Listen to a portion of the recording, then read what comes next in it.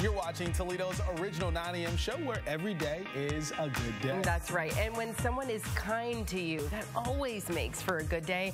And we want to make sure even the smallest acts of kindness don't go unnoticed. Darren Parrish joins us this morning wanting to recognize an act of kindness bestowed upon his daughter last week. So Darren, good morning. Let's talk about it. What exactly took place? Um, last week, um, and I understand that uh, this happens every Friday at Bluffton uh, Elementary School. Uh, some of the Bluffton College football players uh, stand in front of the elementary school and give high fives to the kids as they come into school. Okay, and, and there was something sp particularly special regarding your daughter. Yeah, I mean, my, my daughter has Down syndrome. I mean, she's she's a very She's a very outgoing girl, and for me to see that, it just it warmed my heart. It it, it showed me that you know there's still kindness and there's still people that go out of their way to make kids and make people feel welcome and safe. You know, because school for kids can be stressful enough, and to have uh, special needs and have these young men go out of their way to do it just it just melted my heart.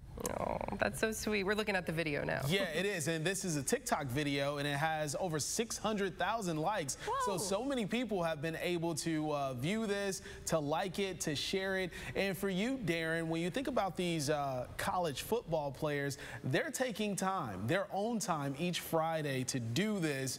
Uh, what does it mean for your daughter and just the influence for the bluffton community?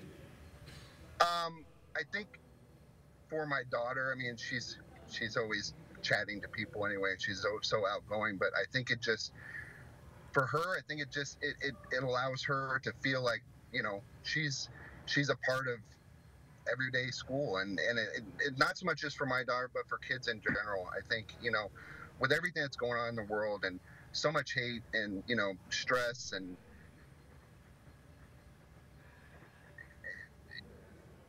feel like they're welcome and that they're, you know, that they're appreciated. You know, it's so great to see these, you know, because sometimes on social media, people share things that are maybe not so positive, right. not so kind. But Darren, how important is it that when someone does take the time to do something like this, we take a beat and we stop and we and we recognize it? I, I think more of that has to happen. Um, just the comments that I've gotten on the video on TikTok, um, just everybody just says, "Gosh, it, this is so nice to see. We need to see more of this." And you know, yeah, like you said, it, everybody's quick to post something that's negative, you know, or something that's not uh, something that's going to do good. And and this just it just hit me, and I said, "Well, yeah, I'll put it out there, and maybe just a couple people will see it." And I just never thought that it would it would go as far as it has. And I just I just think it's something that people want and need to see right mm-hmm. now. And I, and I appreciate the fact that they're being able to see it and that they're appreciating it. Yeah, a small act of kindness that is going a long way. So, Darren, uh, you're able to talk to our viewers this morning about being positive and being kind. What would you say to them about just a simple act of kindness?